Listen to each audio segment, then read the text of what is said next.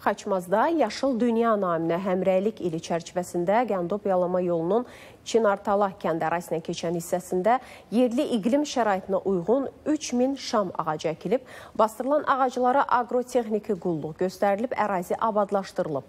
Həmçinin Xaçmazda yerləşən Zəfər Parkında yeni ağaclar əkilib, ərazi abadlaşdırılıb. Son bir ay ərzində Xaçmaz rayonunun müxtərif kənd və qəsəbələrində avtomobil yollarının kənarına, park və xiyabanlara 20 minə yaxın müxtərif növ ağaclar əkilib. Mövsümün sonuna dək rayon ərazisində daha 10 min ağac əkiləcəyi bildirilir.